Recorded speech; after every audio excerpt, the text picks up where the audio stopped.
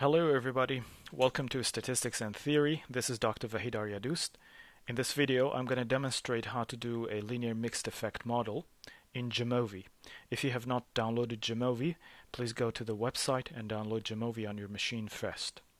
So here's an outline of what I'm going to discuss in this video. First I will talk about mixed effect models and I will introduce the concept of fixed effects and random effects and then I will elaborate on random slopes and random intercepts. Then I will show you how to organize data, uh, do model fitting and model comparison in Jamovi. Then I will uh, demonstrate how to check the assumptions of the models, followed by uh, examining the variance components, uh, which um, also includes the mean um, of um, the data as well as uh, inter I mean intra-class correlation analysis or ICC. So what are linear mixed effect models? Well, um, linear mixed effect models are very useful models which are essential tools for analyzing complex data sets, especially those with hierarchical or clustered structures. These models provide um, a very flexible framework for handling dependencies that often arise in such hierarchical data or clustered data, if you will, which are not properly accounted for by traditional uh, linear regression techniques. Um, this is a linear regression model in which uh, the y or the uh, dependent variable is being predicted by uh, the intercept, which is the population intercept. So I'm going to write intercept or population intercept, which is different from the random intercept, which I will discuss in a minute as well as a slope.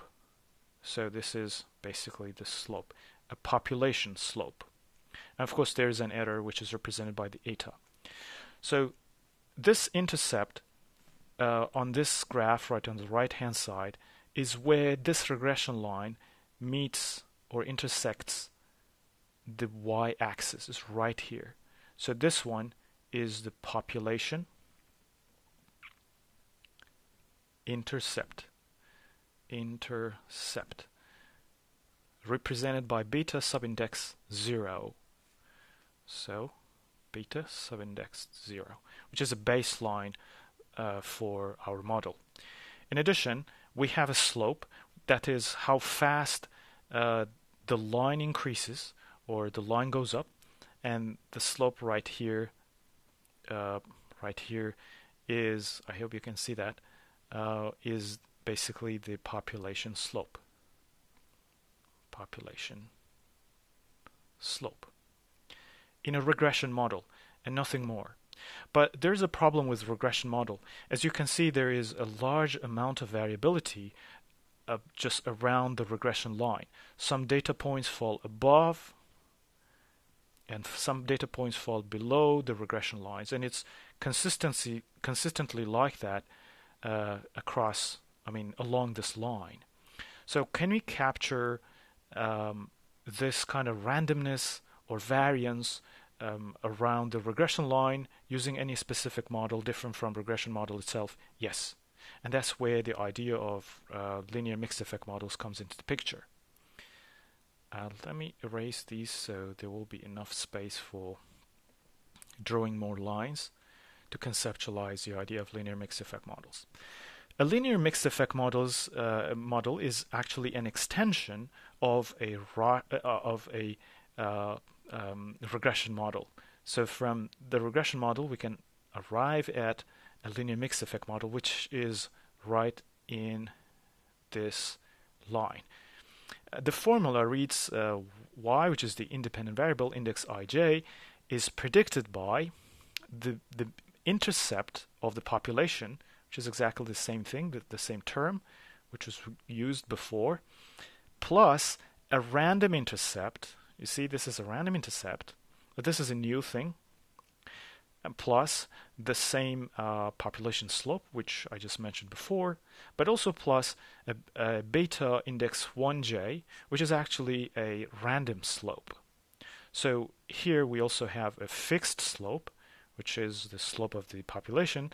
But alongside that, we have incorporated a random slope into the analysis. So what does this slope and also the uh, random intercept look like? Um, if you consider this line to be, I mean, the uh, the uh, horizontal axis to be, for example, something like time, and this is the amount of y over time. For example, in time 2, then time 4, then time, time 6, uh, something like that. Uh, right, time 2.1, I don't know if it makes sense to have time 2.1, time 2.2, and so on and so forth. You'll see you can uh, actually uh, track every student over time. You can track, for example, a student uh, who started around here. Let me choose a different color and uh, changed in this way. This is a hypothetical student whose regression line is represented by the green line and whose intercept will be right here.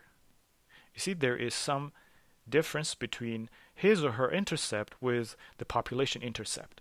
And in the same way, the slope of the regression line for this particular person is somehow different because that's why the two lines are intersecting at this point.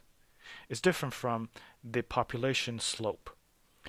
Um, in the same way, you can imagine that, well, there are many other people, many other subjects, if you will, um, who have different uh, growth over time or different uh, uh, shapes data over time. For example, another person whose data starts from here might have um, actually changed quite significantly over time from here intersecting the other two lines all the way up to uh, the higher areas of the graph on the right hand side.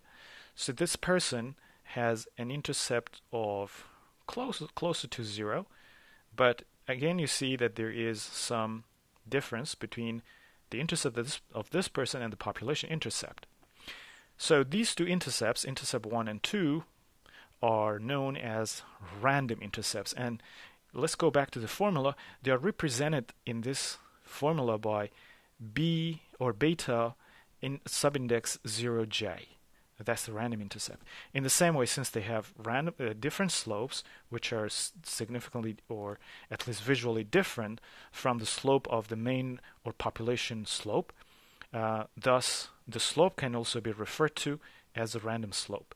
So, in fact, we have quite a number of random slopes with plural s, and quite a number of random um, uh, intercepts with plural s here. What a linear mixed effect model allows us to do, to do is to capture this variability in the intercepts and the variability in the slopes, which also is referred to as randomness.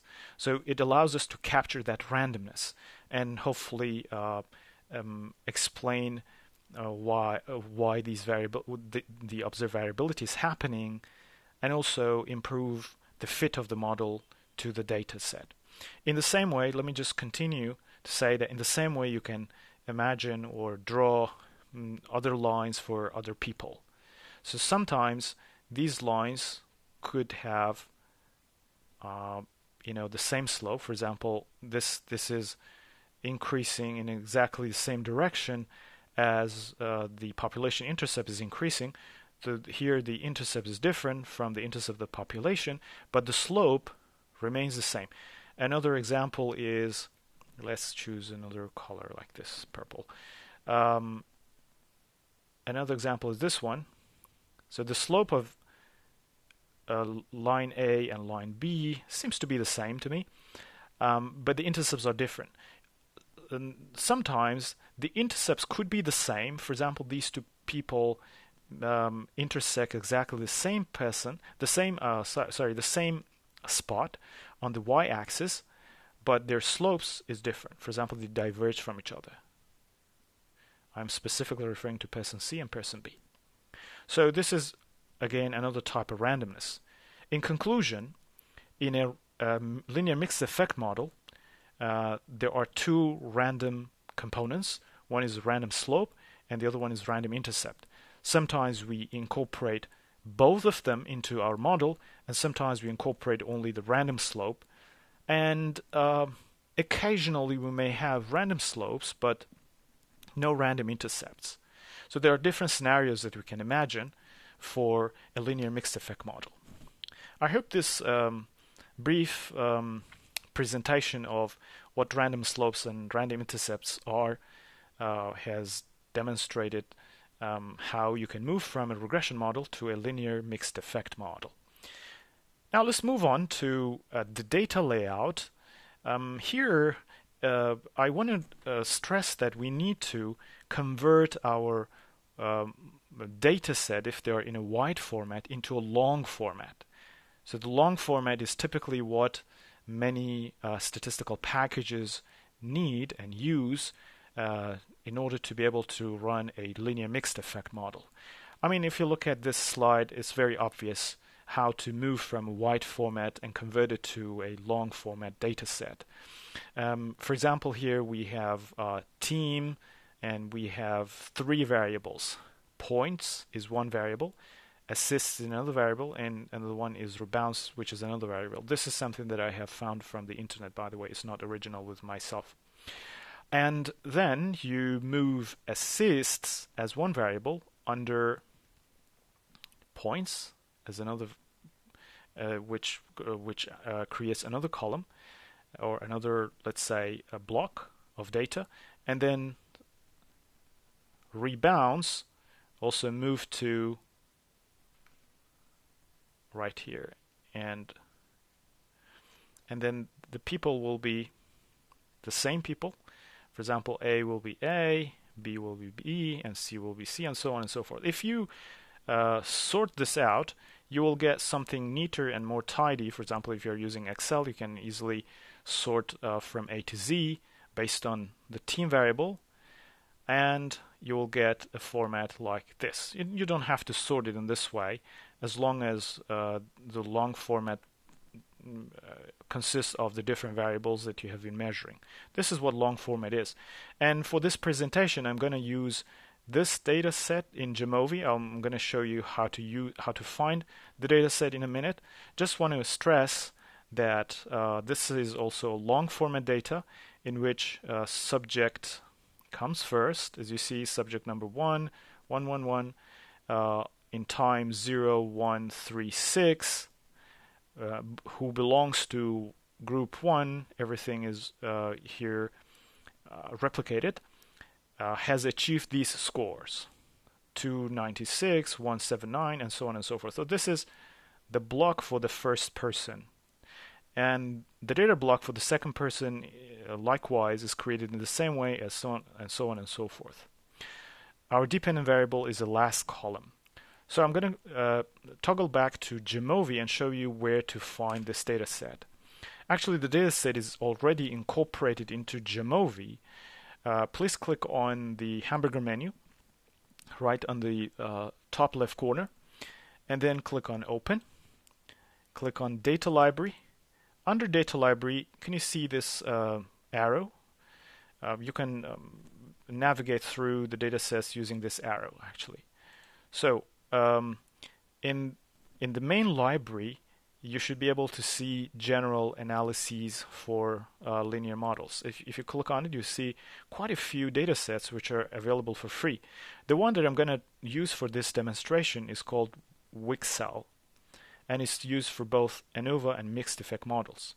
I don't know uh, I don't know much about the um, theoretical framework that was used to generate this data, so I'm going to uh, use it only for statistical purposes and no theoretical purposes at all. So if you click on Wicksell, and the data will be open, and as you can see, it's exactly like the data set that I just showed you in the slide.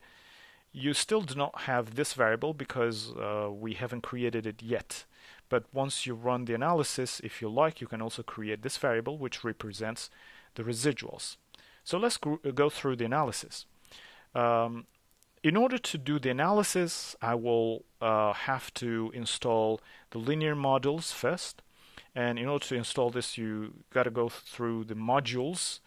And under the Jamovi library, you should find the module linear models under available and click on install and it will be installed. So take your time, go through this, this long list to find the model first.